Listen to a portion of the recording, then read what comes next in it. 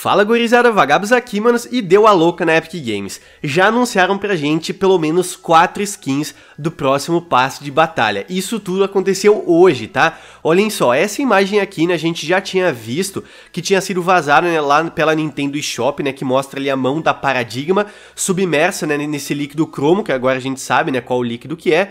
Enfim, né, todo mundo pensava que tinha relação, né, com o set ali sumindo, né, do mapa e tudo mais, só que na verdade, pelo jeito, tem relação com skins do próximo passe de batalha, porque hoje outras três plataformas divulgaram imagens parecidas, só que com uma mão de personagem diferente. Olhem só, na Epic Games Store aparece agora a mão de uma outra skin, um outro personagem, e a gente pode ver que se parece muito né, com a mão de um gato, ou seja, tudo indicando que seja o miásculo gótico né, que apareceu aí numa pesquisa recente, né, que muita gente já estava falando que vai ser uma skin no próximo passe. A gente pode ver que é uma mão de gato né, com unhas pretas, a gente pode ver também a manga ali da roupa roupa, que se encaixa muito bem né, com esse personagem. Então agora né, se confirmando que de fato vai ser uma skin no próximo passe. Além disso, né, tem também a Paradigma, que eu acabei de falar para vocês, né, vazada pela Nintendo, então indicando que ela pode ser sim uma skin do passe aí da temporada 4. No PlayStation aparece a mão da Gwen, né, que já estava sendo comentada também que poderia ser uma skin de passe, agora já se confirmando, é uma skin que eu tenho certeza que muita gente vai gostar, eu gosto muito dela, tipo,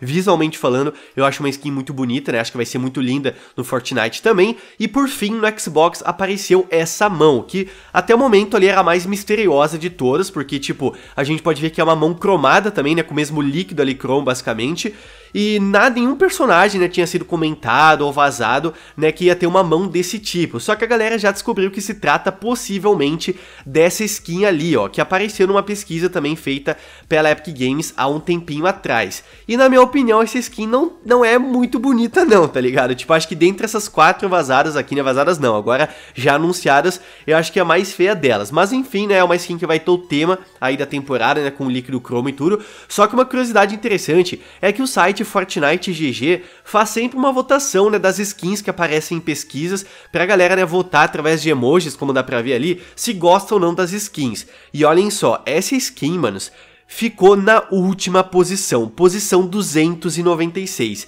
literalmente. A gente pode ver ali que a maior parte dos emojis é o emoji ali de cocozinho, tá ligado? né? O 1400 pessoas votaram nesse emoji pra skin. Ela realmente já teve poucos votos positivos. Claro, né, que quem participou dessa votação ali nesse site não é, né, nem perto de, um, de 1% da comunidade do jogo, mas já reflete, né, muito bem a opinião da galera no geral, porque eu percebi também, né, que já de acordo com essa imagem vazada, a galera já não tá gostando gostando muito dessa skin, né? Pelo menos das quatro ali, né? A skin que o pessoal tá menos curtindo. Então, mano, já temos mais da metade do passe aqui confirmado. E eu tenho certeza que são skins do passe. Não tem como ser skin da loja, tá ligado? É muito difícil a Epic Games anunciar um teaser desse, uma skin da loja. Pode ser que uma das quatro, né, seja uma skin também uh, secreta, né? No caso, skin extra, assim como foi Indiana Jones aqui na temporada. E eu acho que vai ser uma skin de parceria. E dentre essas que aparecem aqui, a única de parceria é a Gwen, tá ligado? Então talvez ela seja uma skin extra ali, mas eu acho que não, acho que realmente são as quatro skins do passe normal. Temos outras três, né, que podem ser anunciadas nos próximos dias, tá? Então a Epic Games já, já tá anunciando pra gente, não quer nem saber, quer deixar a galera no hype, né? Mas essas aqui que apareceram até o momento, né, tirando essa última ali que eu falei da, da Concept, já tava meio que sendo especulada, né, tanto Paradigma como Miásculo, Gótico e a Gwen, já tava sendo teorizado e agora, né, 100% confirmado todas elas. E outra coisa que a Epic anunciou pra gente também são pequenas frases que todas as letras maiúsculas que aparecem nelas formam a palavra Chrome, né, que seria Chrome ali em português. Olhem só, a primeira frase diz o seguinte: consome tudo. A gente pode ver que as duas letras em maiúsculo é C e H. A segunda frase, Freedom, que traduzindo significa ali libertius. A gente pode ver somente o R ali em maiúsculo. Depois eles continuaram falando, mas tome cuidado. A gente pode ver o O também, né, a única letra maiúscula dessa frase. E por fim, a frase, né, você pode ser o próximo, com a letra M e a letra E em maiúsculo, né, formando então a palavra Chrome. Então, né, só falando a frase completa agora seria: consome tudo, liberte-os, mas tome cuidado, você pode ser o próximo. Com certeza, né, falando sobre o líquido Chrome, né, afinal as letras formam essa palavra também, então de fato é um líquido maligno, né? A galera já tava desconfiando disso, né? Porque se mostra uma mão tentando sair do líquido, é porque não é coisa boa, né? Mas enfim, agora se confirmando que vai ser um líquido maligno aparecendo no mapa na próxima temporada. E pelo jeito esses personagens ali do passe vão estar sendo consumidos, né, por esse líquido ali ali também. Vamos ver, né? Provavelmente a história do jogo vai ter relação né, com isso durante toda a temporada 4. E a Epic Games, manos, também tá distribuindo alguns pacotes aí de Lhama O, que é esse cereal, vou dizer assim, né? Mas é só o pacote mesmo, aí para alguns criadores de conteúdo, tá ligado? A gente pode ver que tem ali embaixo, né, o líquido cromo consumindo esse pacote, que apareceu, né, naquele vídeo que a Epic Games postou no TikTok, né, do cara consumindo ali o cereal e tudo mais. Enfim, né? Interessante a Epic Games, né? Sempre interagindo com a galera, seja teaser, tipo, espalhado no mundo, ou teaser pros criadores de conteúdo. Eu acho isso muito legal, tá ligado? Mesmo que seja uma coisa que a galera, assim, não dá tanta bola. É um negócio muito da hora que eles interagem na vida real, né? Com os criadores, com a galera da comunidade, sempre deixando um hype a mais, né? Querendo ou não, isso aí contribui aí, né? Pra ansiedade da galera em relação ao lançamento de uma nova temporada. E olhem só, manos, outra parada que eu quero comentar aqui com vocês é que, de acordo com o Yanzitz, pelo que parece, a Epic Games pode estar testando um novo mapa para o capítulo 3, temporada 5, tá? Não essa temporada 4, só temporada 5. Especula-se também que esteja relacionado com o lançamento do Criativo 2.0.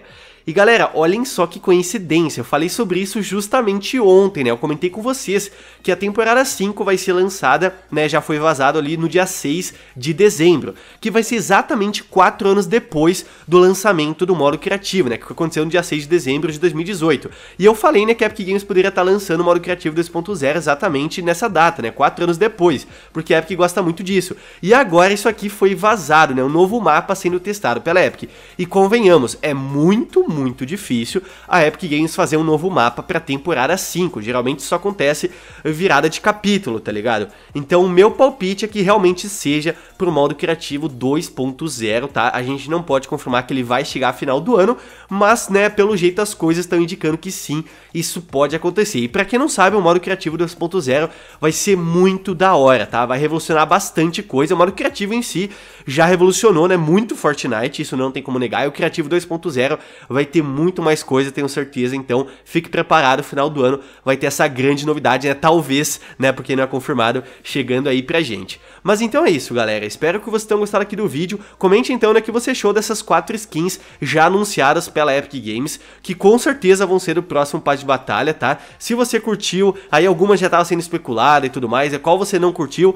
Eu, como já falei, eu gostei acho que das três ali que apareceram, uh, Paradigma, Gwen e Miásculo Gótico. E por fim, só aquela outra skin, né, da Concept lá, que apareceu em pesquisa, eu não achei tão legal, né, sendo sincero, né? Sempre tem uma skin que outra que eu acabo não gostando no passe, é? mas fazer o que, tá ligado? É muito difícil a Epic né, agradar, né, com todas as skins alguém ali. Mas enfim, né, comenta a sua opinião também a respeito desse assunto, né, e talvez durante os próximos dias o resto das skins sejam anunciadas por eles aí também. Então é isso, manos, aquele abraço, se vemos no próximo vídeo, valeu, falou, se eu fui!